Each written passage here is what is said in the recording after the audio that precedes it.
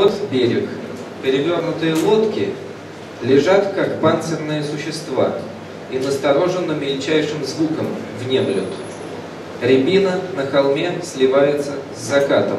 Светило по стволу уходит в землю. А на столе, в саду, ожив, прибитая оса к измазанной вареньем ложке ковыляет. И на поверхности забытой сковородки проступит скоро черная роса.